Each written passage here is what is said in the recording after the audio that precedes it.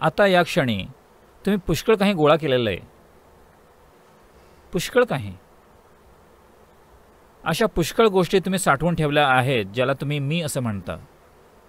या सर्वात पहिली गोष्ट म्हणजे तुमचं शरीर.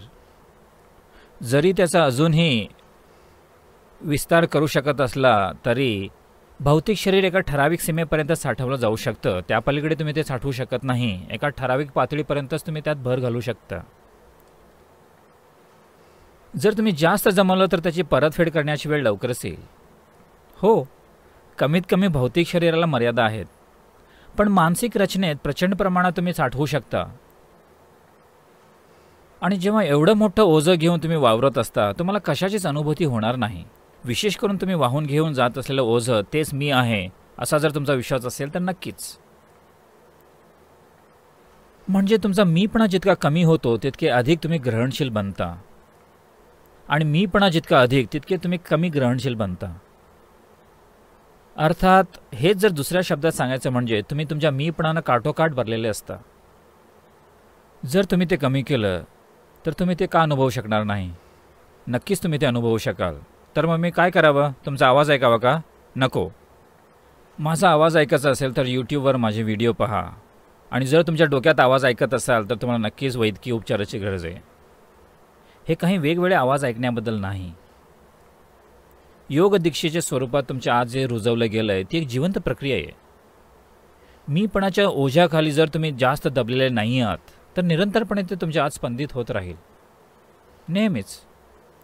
एकदा जर का अशी जिवंत ऊर्जा तुमच्या आत प्रस्थापित झाली तर मग त्याच्या भोवतालची जागा नितळ ठेवणं एवढंच तुम्ही करायला हवं. ती जागा तुम्ही स्वच्छ ठेवू लागलात की त्याची अनुभूती तुम्हाला निरंतर होत राहील यात शंकाच नाही. जर तुम्हाला सूर्यप्रकाश हवा असेल तर तुम्हाला मोठा संघर्ष करायची गरज नाही. फक्त दारं खिडकी उड्या ठेवाव्या लागतात इतकंच नाही का? म्हणून स्वतःकडे जरा लक्ष देऊन बघा. कदाचित तुम्ही अगदी चाणाक्ष माणूस असाल किंवा अगदी मजबूत शरीरयष्टीची व्यक्ती असाल किंवा अगदी देखणा पुरुष असाल वगैरे ते जरा कमी करा. तुम्ही पाहाल लगेच याची तुम्हाला अनुभूती होऊ लागेल. हो किंवा तुम्ही एक अतिशय चांगला माणूस आहात कृपा करून ते सुद्धा कमी करा. चांगल्या माणसांना कशाचीच अनुभूती होत नाही ते जणू शिळीसारखे बनतात.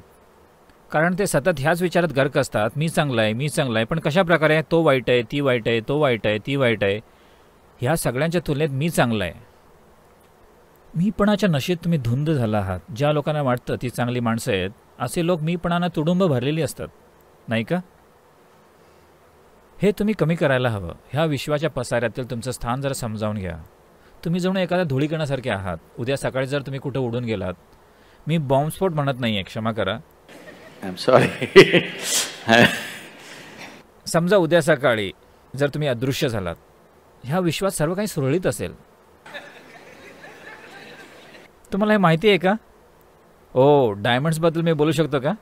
हिरे तुम्हाला माहिती आहे का? अल्ट्राव्हायलेट लाइट हिऱ्यांना वाफेत बदलून नाहीसं करतात. तुम्हाला माहिती आहे का? डायमंड्स आर फॉर एव्हर ही म्हण तुम्ही ऐकली आहे का?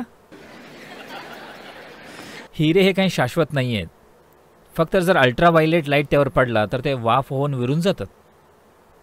जरा स्पर्श करून बघा बघू ते हिरे आहेत ना तिथं?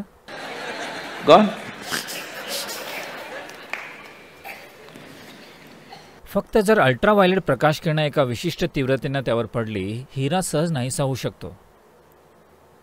एवढाच हा खेळ आहे.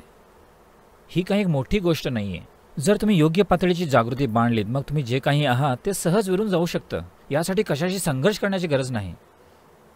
कोणतीच धडपड करण्याची गरज नाही. तुम्ही संघर्षात अडकलेले आहात कारण तुम्ही चुकीच्या हत्यारांना लढताय. हिरा हा तुम्ही हातोडीनं फोडू शकणार नाही. कठोर परिश्रम करावे लागतील. प्रकाश फक्त अल्ट्राव्हायलेट प्रकाशाची किरणं हिरा विरून जातो. सहज अदृश्य होतो. डायमंड. तर हे अतिशय सोपं. आहे फक्त योग्य प्रकारची जागृती निर्माण करण्याची गरज आहे.